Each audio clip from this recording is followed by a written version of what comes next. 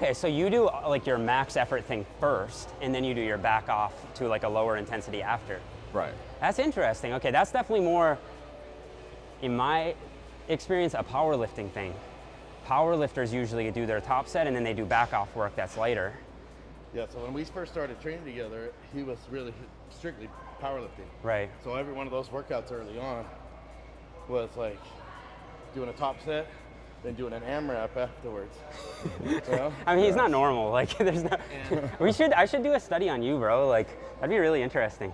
Um, like, if you'd be interested, like, Absolutely because there's no research on IFBB pros, or there's hardly any that I'm aware of.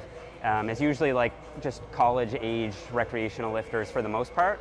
So it'd be really cool to see like how some of these scientific principles would apply or not apply to you. You know, like even to just get you like DEXA'd, try high volume or try like try something new see how it goes. You know what I mean? I don't know. There'd definitely be a study idea somewhere.